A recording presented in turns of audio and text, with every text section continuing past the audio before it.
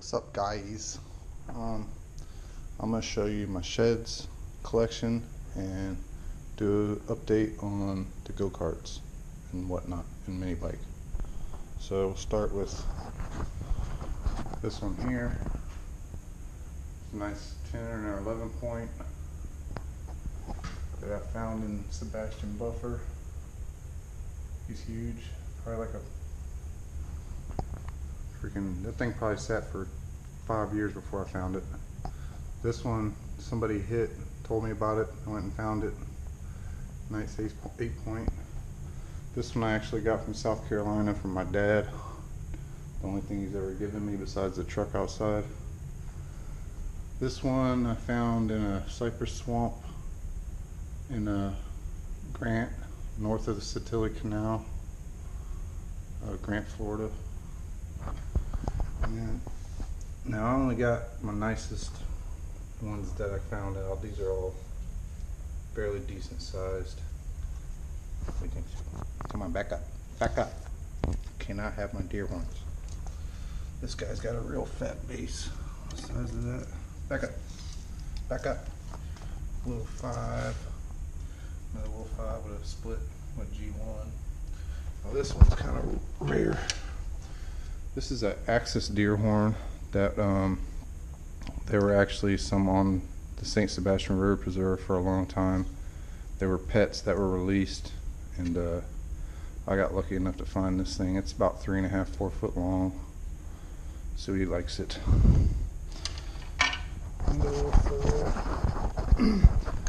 this one I found south of Micco Road, and uh, he's a he's a shooter. He'd catch a bullet for me. And then my favorite sheds are these two that I found after a prescribed fire. It's probably one of the nicest deer you'll shoot in Florida. A couple little guys there, little guy there. This one's actually from South Carolina that uh, I had found chewed on by squirrels and whatnot. I actually have a bunch more that uh, I didn't show you because they're really small and not really worth showing. And I've also I've cut a bunch up to make keychains out of. Oh, here's a few more here. Here's one. This little fella here. It's a nice one. That's a weird one there with that little um, non-typical, I guess you'd call that. Oh yeah, here's another axis, another axis deer horn. This one's a little smaller, about two feet, maybe a little longer. And I got a couple more up there that I just didn't get down. That looks like another axis deer horn there. But all right, let's go do a go kart update. Coming out, Sue. All right, as we go into the garage,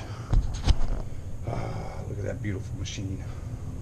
I gotta put a fuel pump in there. I might be doing a video on that soon. So here's the go-kart, my most recent project. I finally got this engine plate off over here. This engine plate, it was not easy. This used to be here for one-wheel drive. I'm probably gonna end up putting it here, cutting these off cutting those off, putting some axle hangers on there, and uh, making it a live axle. This was a two-seater, and I'm gonna make it into a one-seater by putting this here. This was here for uh, two people, putting it here for one big person like me. so this is gonna be my personal go-kart. And then you got the OG. You guys have seen it in a few of my videos. Yeah, it's a madman. Right. I wanted to show you that I got a pond that I plan on doing work on as soon as it cools off around here. Sorry about the wind. But it's a wee little pond. day. But I also wanted to come back here and show you this. Watch out. Got a bunch more deer sheds. like skull, another skull. This thing here is another skull. Look at this thing. This was a gnarly shed. I wish I could have found it before it got destroyed. But here's my little pond. Bunch of wee little fish in it, and I'm pretty sure there's a koi in there, a brim. I got a bowfin in there. I just dropped a bunch of shiners in here yesterday. Um, I used to have a waterfall going through here, but of course the pump failed on me, and them pumps are expensive. There's a crazy looking bug. Check out. Land. He's scared of me. But hopefully soon I'll get this back going again and get all that muck out of there. Get it looking good.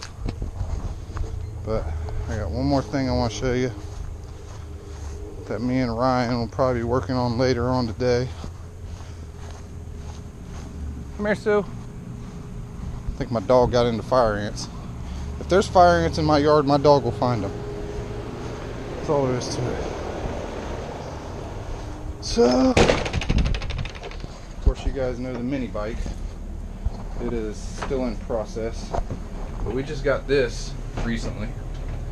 We've been doing work on it. It's got a broken motor mount.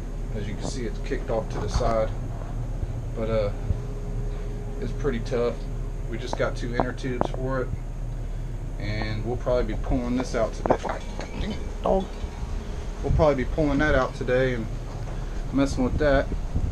And if anybody has ever seen a motor like this, let me know. It's, it looks like an Indian. If I'm wrong, I could, I could be wrong. But it's got two output shafts. I've never seen that before, and they go in opposite directions. So if anybody knows what kind of motor this is, I've looked for it online. Cannot find anything on it. And uh, I'm curious, because it looks really cool. I'd like to put it on something. But, alright, so that's the little update video for today. I, I, did some fishing this weekend. I didn't get it on camera because my wife outfished me. I didn't want to show everybody. Alright, we'll see you on the next one. Thanks for watching. Subscribe.